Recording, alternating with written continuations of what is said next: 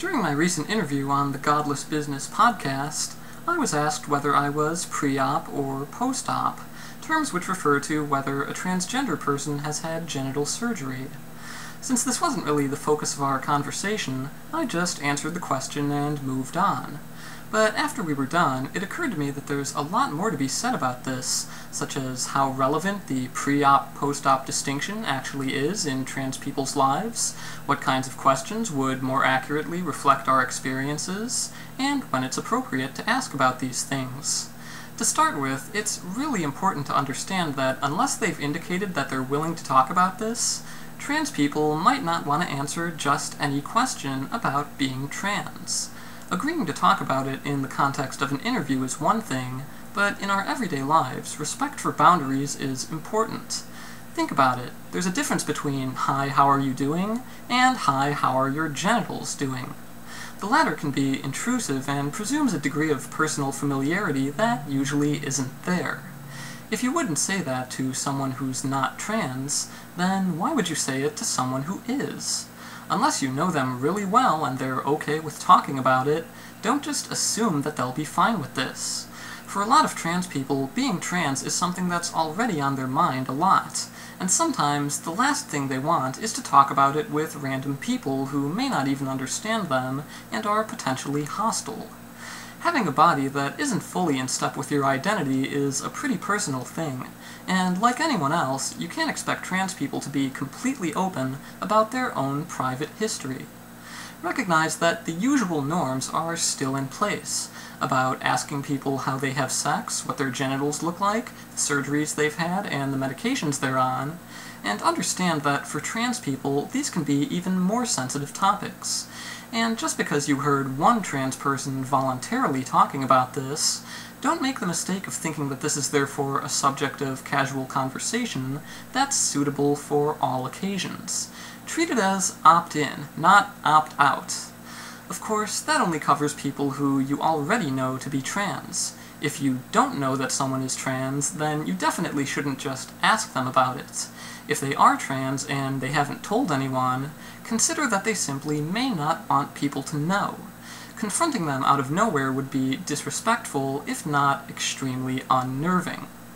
But aside from the matter of when it's improper to ask questions, it's also worth examining what kinds of questions would be more fruitful when the topic is on the table.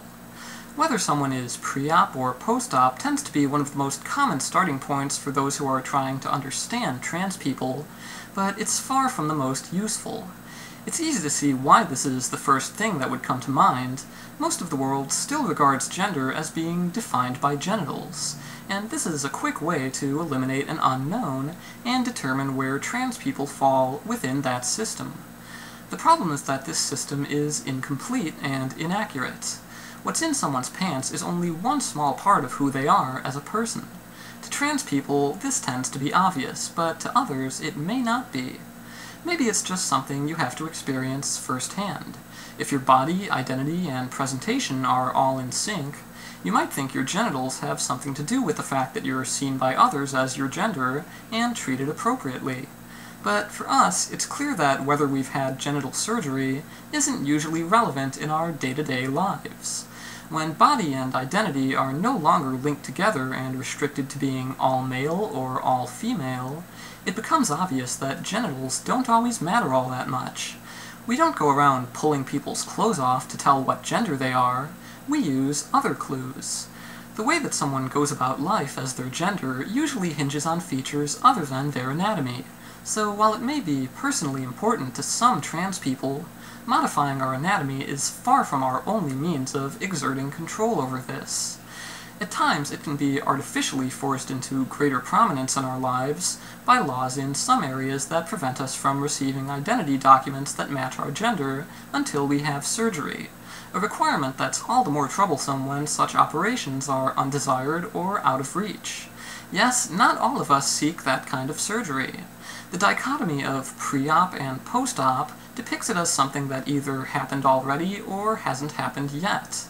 This ignores that for some of us, it may be something that never happens. There is no yet. Some people can't have it for medical reasons, many just don't have the means to afford it, and some of us simply don't want it. We've decided that we're satisfied with what we have. So, what sort of things are more relevant to our goal of going about life as our preferred gender? Well, you could ask what made us realize that this was something we wanted for ourselves. You could ask us when and how we came out. We each have our own stories, much as with anything else you have to come out about, and this tends to be one of the first steps in the process of transitioning. Another major milestone is presenting full-time as our intended gender something with much greater significance to our everyday lives than the state of our genitals. You could ask what sorts of interesting things we've noticed as a result of having lived in two different genders. You could ask us about what kind of difficulties we've faced as a result of transitioning. And you can ask what you can do to support trans people in a meaningful way. Just as with anyone else, there's so much more to our lives than surgery. And when we do have the opportunity to learn from each other, it would be a shame to miss out on the full breadth of human experience.